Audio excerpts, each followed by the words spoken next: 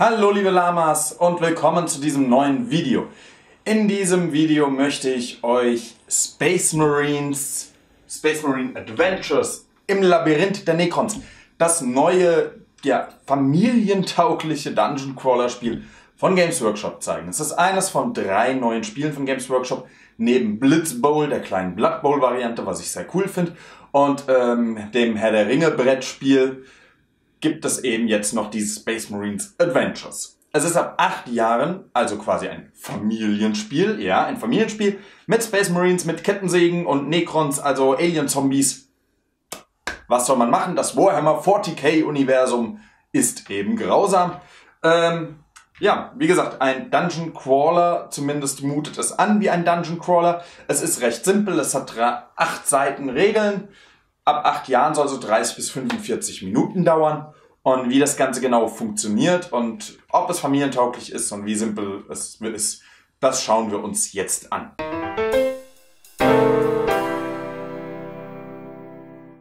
Wir sehen hier aufgebaut Ebene 1, das heißt die erste von drei Missionen. Man kann alle drei Missionen einzeln spielen oder zu einer Kampagne verbinden. Wir haben hier vier Space Marines ausgesucht. Es gibt aber im Spiel fünf Stück. Es ist aber für eins bis vier Spieler, weil es eben kooperativ spielbar ist, kann man es auch alleine spielen. Ähm, ich habe mir diese vier rausgesucht. Ich finde den mit dem Messer nicht so cool. Ja, hier haben wir die vier Karten zu den Space Marines. Zu dem fünften gibt es natürlich auch noch eine Karte, jeweils eine zufällig gezogene Bonuskarte, Ausrüstung, wie auch immer.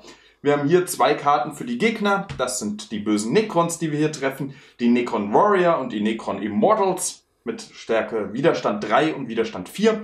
Das hier sind die Gegnerkarten und das hier sind insgesamt die Initiative-Karten.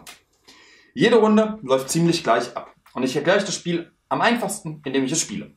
Wir decken die oberste Karte auf, die sagt uns, wer dran ist. Das sind die Necrons, decke ich die oberste Necron-Karte auf, mache, was die Necron-Karte mir sagt. Lege einen Schergenmarker auf Translokationsfeld 1. Das ist Translokationsfeld 1, da tauchen also die Necrons auf. Liegt da schon ein Marker, wird auf jedes angrenzende Feld einer gelegt. Also 1, 2, 3. Die ziehe ich zufällig hier aus dem Beutel. Da sind die beiden eben drin. So, weiter geht's. Wieder die Necrons dran. Wieder hier ziehen. Auf Translokationsfeld 2 legen. Da brauche ich jetzt zwei Marker. Eins, zwei. Uiuiui, ganz schön viele Necrons. Und der grüne Space Wolf ist dran.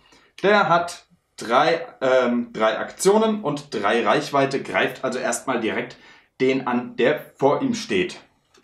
Dazu würfelt er einfach mit seinem Würfel. Wir haben hier drei farbige Würfel zu den äh, fünf farbige Würfel zu den fünf Space Marines. Das ist der grüne, also würfeln wir mit grün. Ich würfel, hab eine 3 gewürfelt, ich muss die Widerstandskraft des Gegners würfeln. Ist eine 3, ist er tot und die Spezialfähigkeit triggert nicht, weil ich eine 6 plus würfeln müsste. Also 3 gewürfelt, bumm, tot.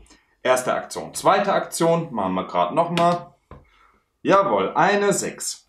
Das bedeutet, wird auch jeder Necron in einem an das Ziel angrenzende Feld zerstört. Der hat den Flammenwerfer, brutzelt den weg, brutzelt den weg, brutzelt den weg.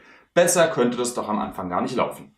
So, das waren zwei Aktionen von seinen dreien. Für die dritte Aktion läuft er einen Schritt. Fertig. Ein Schritt laufen ist eine Aktion.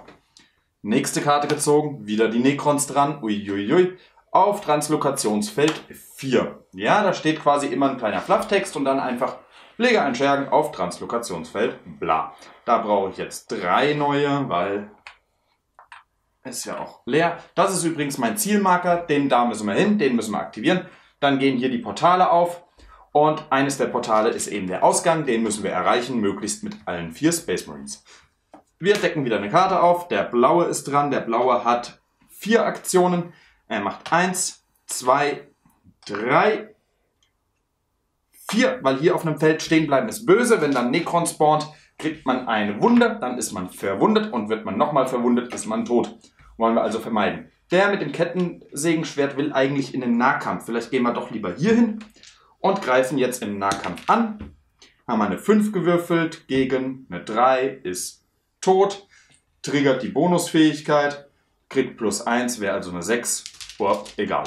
Waren seine drei Aktionen. Nächster dran, der rote. Der rote hat eine Reichweite von 6. Darf also 6 Felder weit schießen. 1, 2, 3, 4, 5, 6. Also muss er ein Feld gehen. Dann kann er schießen.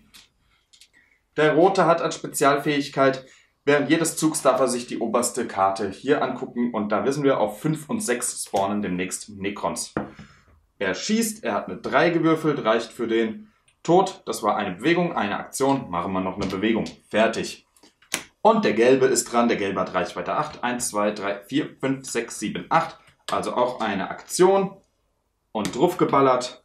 Ist nur eine 2, ist Mist. Hat er was? Addiere plus 1, wenn er einen Necron attackiert, solange dieser Necron nicht in einem an ihn grenzenden Feld steht. Jawohl, also plus 1 ist 3, ist also auch tot. Das war zwei Aktionen. Dritte Aktion ist Laufen. So. Und wir machen weiter. Grün ist dran. Grün hat drei Aktionen, Reichweite 3. 1, 2, 3. Gehen wir mit dem mal hier lang. Dann ist Rot dran. Rot hat vier Aktionen. 1, 2, 3, 4. Gehen wir mal das Risiko ein. Dann ist Blau dran. 1, 2, 3 und Angriff. Und wenn Blau im Nahkampf angreift, also quasi ein Feld entfernt, bekommt er plus 1. 5 plus 1 sind 6. Ich bräuchte eine 4, ist also tot. Ja, dann eben noch Gelb. Gelb wieder dran. Hat drei Aktionen. 1, 2, bleibt stehen. Und die Necrons sind dran. Wir wissen, auf 5 und 6 spawnen jetzt neue Necrons.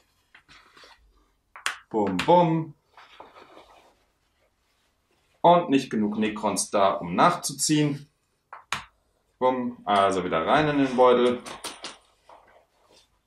Und bumm.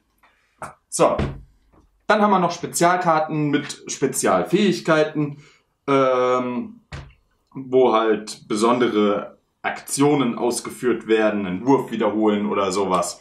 Äh, recht unspektakulär, würde ich an der Stelle sagen. Und ich habe es vergessen, jede Ebene, jede Mission startet mit einer Einsatzbesprechung. Die sagt mir im Prinzip nur, wie das Spiel vorbereitet wird. Da ist kein großer Flachtext, da ist nichts Besonderes, klingt so hochtrabend. Einsatzbesprechung ist einfach nur, wie bereite ich das vor. Das war's. Wenn ich diesen Marker jetzt dann mit einer Aktion aktiviere, gehen hier die drei Portale auf. Bum, bum, bum. Und wir sehen, das ist der Ausgang.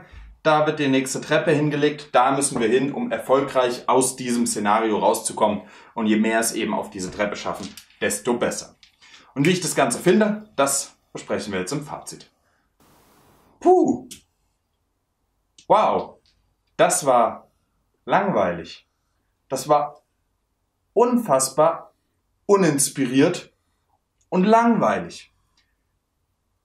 Tokens einzusetzen ist ja kein Problem, damit hält man ein Spiel günstig, aber dass die sich nicht mal bewegen, dass das quasi ein Tower Defense ist, nur dass äh, die Tower die Gegner sind und ich sie einfach nach und nach wegkrotze. Also auch das, das Würfel- und Aktionsprinzip ist total runtergebrochen und uninspiriert und einfach nur, einfach nur langweilig. Also tatsächlich, diese Altersangabe ab 8 verstehe ich nicht so, das Spiel ist ab 8 Jahren geeignet, sondern das Spiel macht nur einem Achtjährigen Spaß.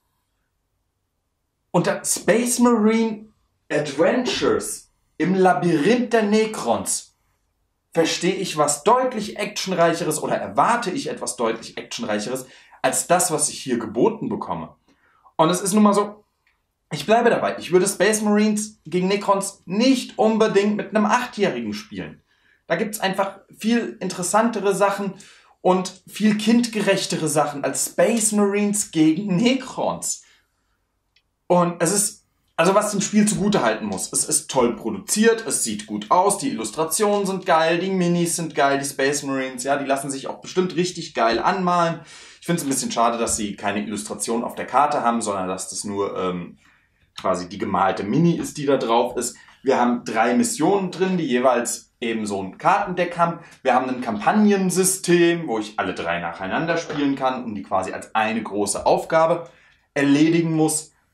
Aber im Großen und Ganzen ist das Ganze einfach nur langweilig. Also es ist krass, die, die Würfel, ja, so, also von der Produktionsqualität legt Games Workshop da wirklich vor, ja. Das sieht man auch schon bei Blitzbowl mit den ganzen Custom Dices und dann hier wirklich auch mit einem Beutel, der dabei ist. Fantasy Flight Games schneidet euch da eine Scheibe ab, beziehungsweise Asmodee, die legen Beutel bei. Aber ansonsten ist es einfach nur bum, bum, bum, bum, gucken, dass ich da durchkomme. Ich muss im Prinzip schneller Necrons töten, als Necrons nachkommen. Weil sonst habe ich ein Problem, sonst spawnen die irgendwann über das ganze Feld und dann bin ich tot. Also muss ich effektiv schnell genug Necrons plätten. Die plätte ich, indem ich die Stärken der Space Marines komplett ausnutze. Das heißt, der blaue geht immer in den Nahkampf. Bei dem grünen hoffe ich einfach oft, dass er seinen Flammenwerfer einsetzen kann. Der gelbe macht auf Distanz fertig, der rote macht auf Distanz fertig und dann machen wir bum, bum, bum, bum, bum und rennen da durch. Das war's. Spielerischer Anspruch geht gegen null. Banalität geht gegen 100. Also, sorry, das, das ist nichts für uns Vielspieler. Also ich meine, ich habe das schon gemerkt, die Games Workshop Spiele wollen quasi den Familienspieler bekehren, ins Warhammer-Universum einzusteigen. Ja? Also haben wir auch schön diesen Flyer dabei. Warhammer, willkommen in der Welt der Fantasy-Spiele. Und da haben wir halt erklärt dann, ne, Space Marines Adventures, Warhammer 40k, da geht's dann richtig rund. Dann haben wir Blood Bowl, Warhammer Age of Sigma, Warhammer Underworld Shadespire, Warhammer Quest, Necromunda, Middle-earth Strategy Battle Game und die Black Library. Also alles nochmal beworben, auch der White Dwarf, ja, also es ist quasi zum Anfixen. Zum Anfixen finde ich Blitzbowl geil. Das hier finde ich eher miserabel. Wenn ich dann vermute, dass Warhammer 40k ähnlich interessant ist wie dieses Spiel, ich weiß nicht, größer kann es nicht verlieren an der Stelle. Und ich denke, ihr habt gesehen, wie es abläuft. Ja, es ist wirklich nur Karte aufdecken, würfeln, Karte aufdecken, würfeln, Karte aufdecken, würfeln. Mehr ist es nicht. Mehr steckt nicht drin. Nicht drin. Mal muss ich die ähm, Sonderaktion benutzen, wenn es vielleicht eng wird. Da ist auch, da gibt's auch eine ganze Menge von. Ja, also die haben sich da echt nicht lumpen lassen. Nur das ganze Spielprinzip an sich strotzt einfach vor Banalität. Und deswegen ist es nicht Space Marine Adventures, es ist Space Marine Banalität. Die Banalität der Space Marines, die Banalität des Warhammer 40k Universums hier in der Essenz eingepackt als Spiel. Schade. Schade, schade, schade. Denn Warhammer 40k, Space Marines, Necrons, Warhammer generell ist ein super Hintergrund für Dungeon Crawler. Mit Warhammer Quest und Warhammer Quest Silver Tower hat Games Workshop bewiesen, dass sie das können. Dass sie anspruchsvolle, gute Dungeon Crawler machen können. Warum kommt da sowas bei raus? Und mit dieser Frage beende ich diese Rezension. Ich bin Alex von boardgamejunkies.de und ich hoffe, wir sehen uns in einem der nächsten Videos wieder. Macht's gut!